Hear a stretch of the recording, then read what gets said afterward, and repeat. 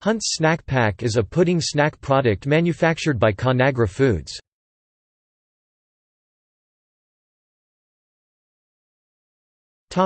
About Snack packs were introduced in 1968 in single-serve aluminum, metal cans, before switching to plastic cups in 1984 and clear plastic cups in 1990. They are marketed as healthy treats for children.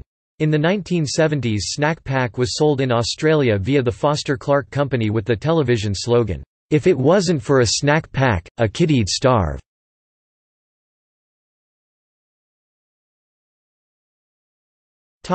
In popular culture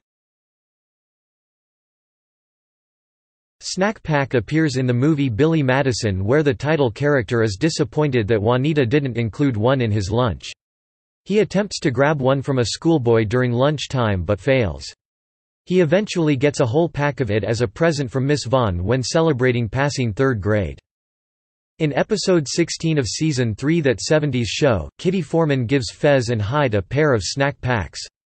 However, instead of the period-accurate aluminum containers of the 1970s the snack packs are in the modern-day clear plastic current containers. In episode 14 of season 2 of How I Met Your Mother, Marshall demands a snack pack from a child in Lily's kindergarten class after spraying his pants with juice for blackmailing him with the Super Bowl results.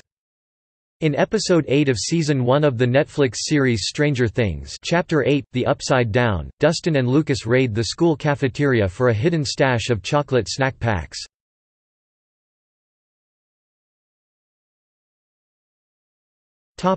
Flavors Many of the above flavors are available in no sugar added and fat-free varieties. Also, lemon and lemon meringue pie contain no milk products.